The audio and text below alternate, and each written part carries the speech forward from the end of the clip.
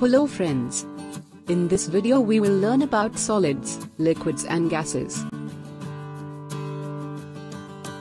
Anything that has mass and occupies space is called matter. There are three state of matter solid, liquid and gas.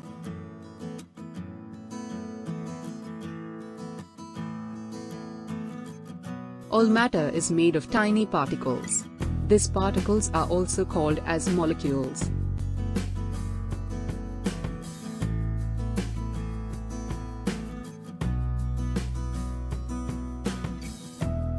Matter mainly exists in form of solid, liquid and gas. Example is ice, water and vapors which indicate all above states.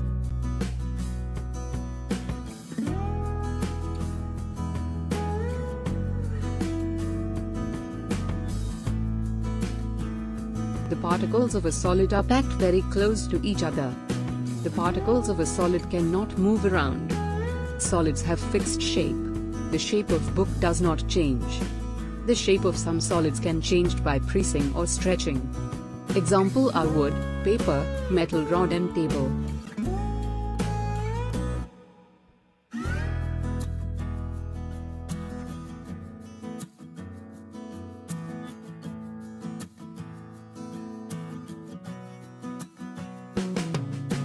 The particles of a liquid are loosely packed.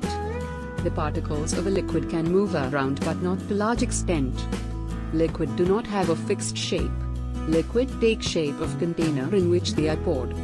If we put milk in a bowl, it will take shape of bowl, so liquid don't have fixed shape. Example of liquid are water, juice and paint.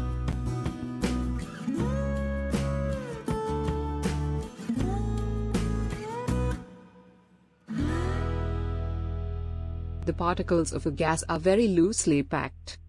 The particles of a gas can move around freely. Gas do not have a fixed shape. They occupy entire space in container in which they kept. The smoke will spread all around in the room as molecule move across freely. Example of gas is oxygen, nitrogen and carbon dioxide. See how water vapor occupy our entire screen.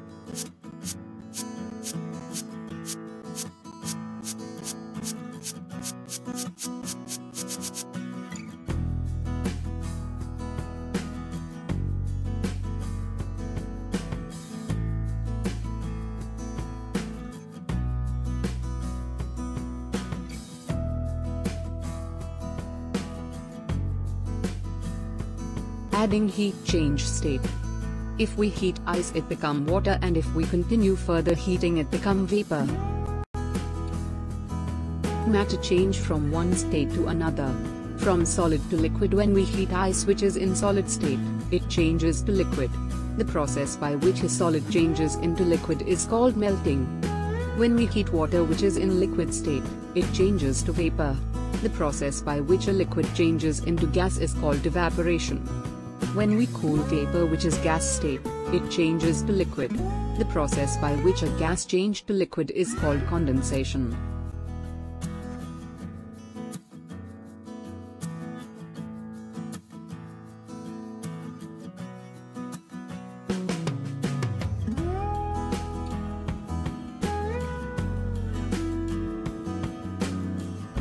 Let's understand process with little more details. The process by which a solid changes into liquid is called melting.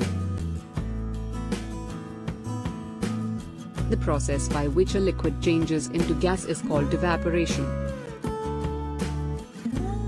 The process by which a gas changed to liquid is called condensation. The process by which a liquid changed to solid is called freezing. When a substance is heated, its particles starts moving rapidly and occupy more space, thus, the substance expands. All solids, liquids and gases expand on heating.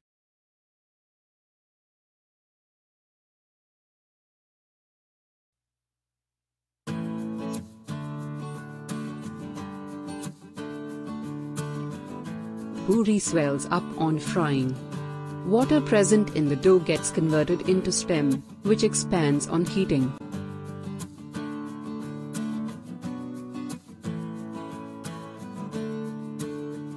Gaps are left between the rails of the railway track.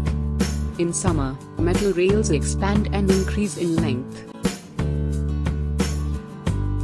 Contraction occurs when a substance is cooled down.